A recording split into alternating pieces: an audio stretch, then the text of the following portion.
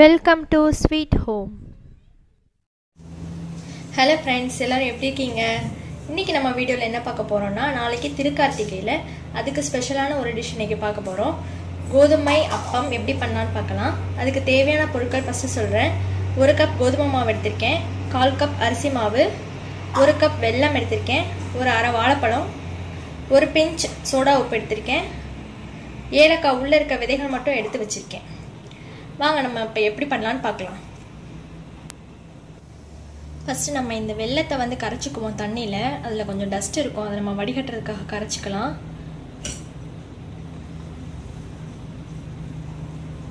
வெள்ளம் போட்டுட்டு கொஞ்சோண்டு மட்டும் தண்ணி ஊற்றுங்க ஜஸ்ட் நம்ம கரையிறதுக்காக தான் ஊற்றுறோம் நல்லா கரையட்டும்.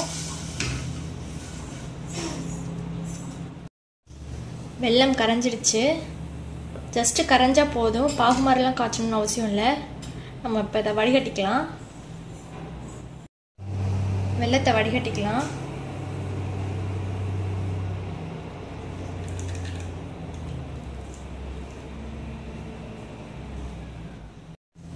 இப்போ நம்ம அப்பத்துக்கு மாவு கலந்துக்கலாம். ஒரு கப் கோதுமை மாவு எடுத்துக்கோங்க.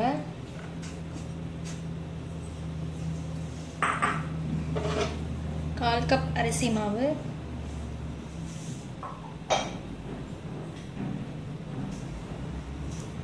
இந்த வெள்ளைப்பாக ஊற்றி ஃபஸ்ட்டு கலந்துக்கலாம். அதுக்கப்புறம் பத்தாததுக்கு நம்ம தண்ணி ஊற்றிக்கலாம்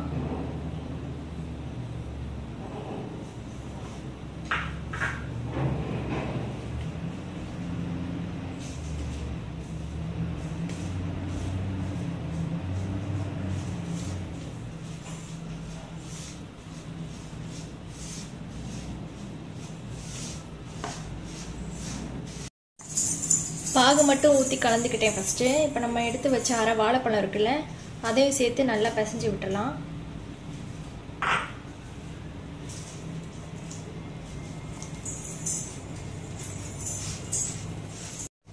நல்லா பிசைஞ்சாச்சு வாழைப்பழம் போட்டு இப்போ நம்ம இதில் கொஞ்சம் கொஞ்சமாக தண்ணி சேர்த்து ஒரு இட்லி மாவு பதத்துக்கு கலந்துக்கலாம்.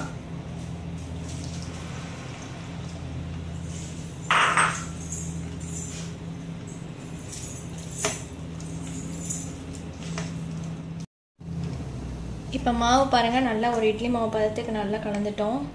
கடைசியாக ஒரு பிஞ்ச் சோடா உப்பு நம்ம ஏலக்காய் போட்டுக்கலாம் போட்டு கலந்துக்கலாம்.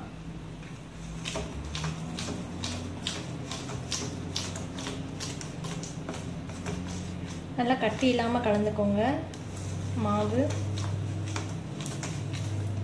நமக்கு மாவு ரெடி ஆகிடுச்சு இதை அப்படியே எடுத்து நம்ம எண்ணெயில் இப்படி ஊற்ற வேண்டியதான் எண்ணெய் காய வச்சிடலாம் நம்ம. எண்ணெய் வந்து நமக்கு மீடியமாக காஞ்சா போதும். எண்ணெய் மீடியமாக காஞ்சிடுச்சு. ரொம்ப காஞ்சிடுச்சுன்னா வந்து வெளியே கருகிடும். உள்ளே வந்து வேகாமல் இருக்கும். ஸோ நீங்கள் இப்படி கரண்டியில் எடுத்து குட்டி குட்டியாக விட்டுக்கோங்க.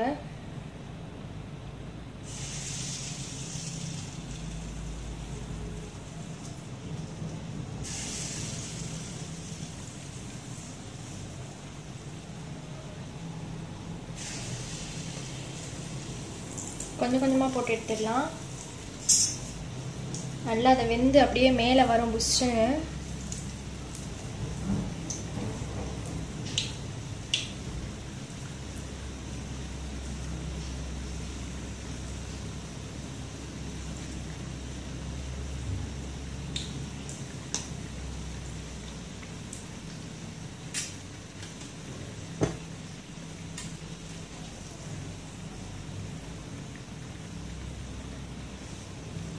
இதை அப்படியே திருப்பி விட்டுக்கலாம்.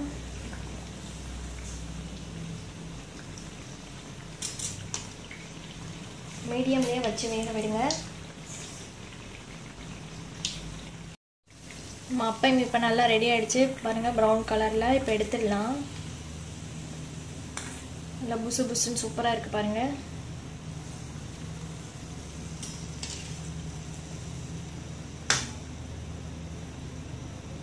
வாசம் சூப்பராக வருதுங்க. நம்ம அப்பம் சூப்பராக ரெடி ஆகிடுச்சு இப்போ நம்ம திருக்கார்த்திகை ஸ்பெஷல் கோதுமை அப்பம் சூப்பராக ரெடி ஆகிடுச்சு இதை நீங்கள் நாளைக்கு சாமிக்கு நெய்வேத்தியமாகவும் வச்சுக்கலாம். ரொம்ப சாஃப்டாக ஸ்வீட்டாக சூப்பராக இருக்கும் சாப்பிட்றதுக்கு. நாளைக்கு இதை நீங்கள் வீட்டில் ட்ரை பண்ணுங்கள் எப்படி இருந்துச்சுன்னு கமெண்ட்ஸில் சொல்லுங்கள் எல்லாருக்கும் திருக்கார்த்திகை வாழ்த்துக்கள்.